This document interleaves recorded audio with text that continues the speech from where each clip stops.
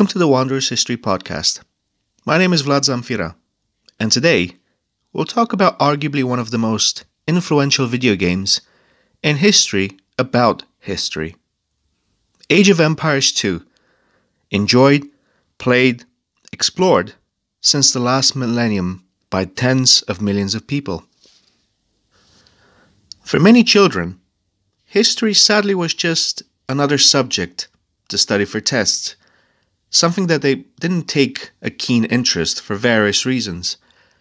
However, in 1999, something remarkable happened, with Ensemble Studios releasing a much improved sequel to the first Age of Empires game, which came out in 1997.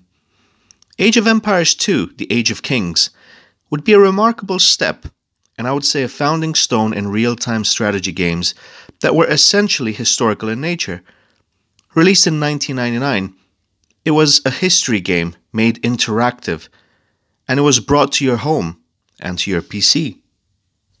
The game would start with a first campaign, a tutorial with William Wallace, preparing for the Battle of Falkirk. Fun and light-hearted, with the rather Blackadderish Scottish accents, it was an accessible introduction to the game, worth tens of hours of gameplay the game all in all. Afterwards, the game would take you to Europe with the Joan of Arc campaign, followed by a third campaign in the Holy Lands telling the story of Saladin.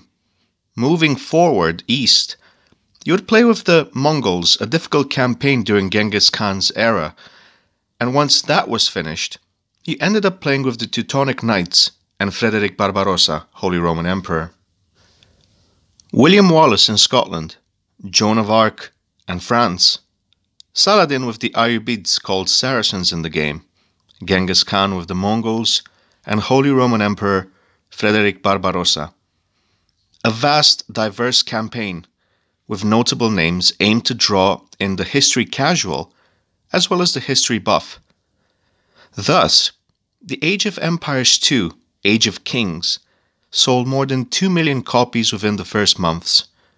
It was a hit not only in the United States, but also in the United Kingdom, France, Germany, and Japan. And with this success came the need to bring the first expansion called the Age of Conquerors.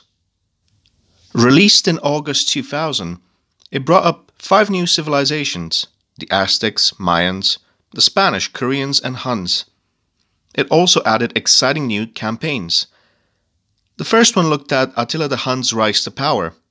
It was followed by you playing with the Aztecs, as it looked at Montezuma's defense against Cortes and the Spanish, only to play in the third campaign as Rodrigo Diaz de Vivar, Castilian knight known as El Cid, who played an important role in the Spanish Reconquista. Diversity was a key point of this expansion so instead of a fourth cohesive campaign, the developers came up with the Battle of the Conquerors campaign, a group of unrelated single scenarios, each based on a significant historical battle.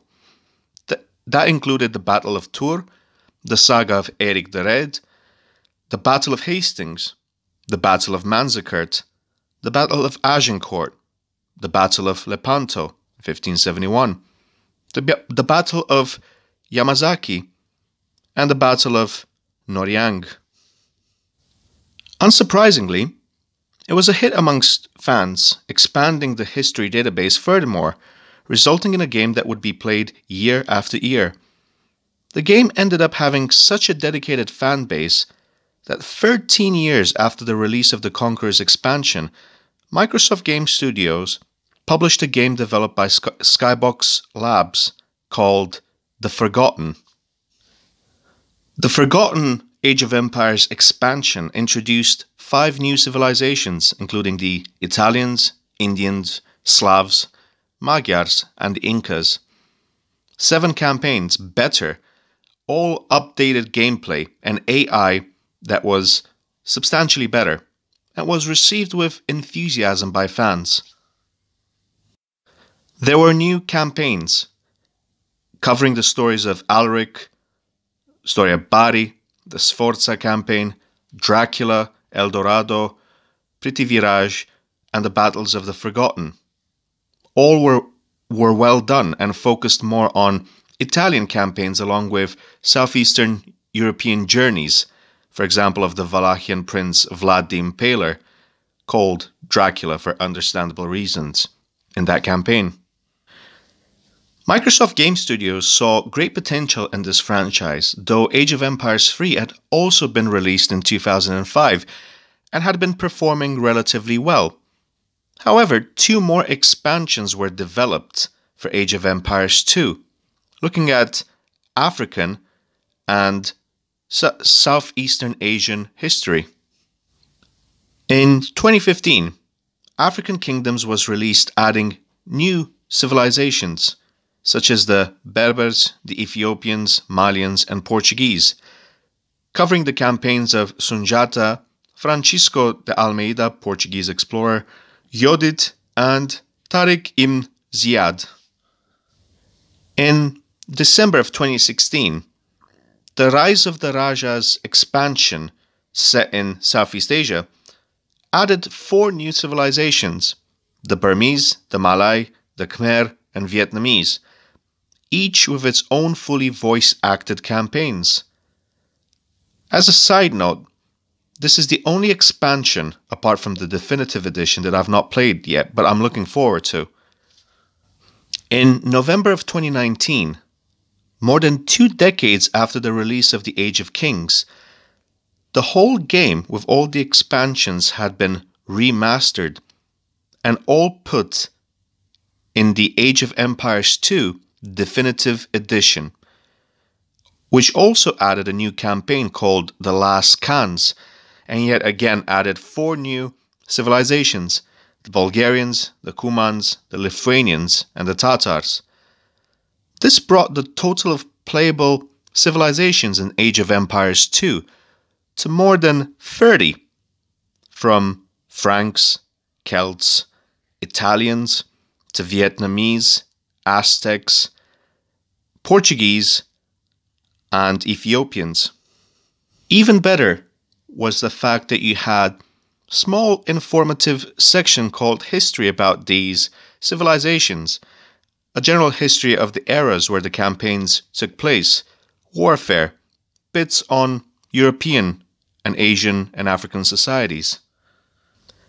Now, of course, a game like Age of Empires 2 might seem a bit outdated. After all, it was a real time strategy game developed in 1999, and it emits, just because of the limitations of the nature, elements such as diplomacy, expansive trade, societal issues, issues that other games like the Total War series or the Crusader Kings or Europa Universalis have speculated and are based on.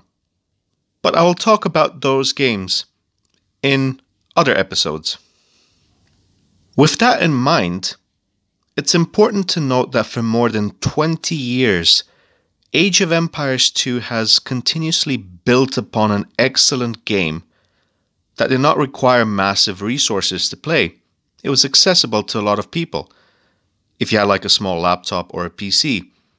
The game kept growing despite the strong, previously mentioned competition and it has cemented its status as one of the all time greats that made kids and adults alike love history more and want to read and research more about history.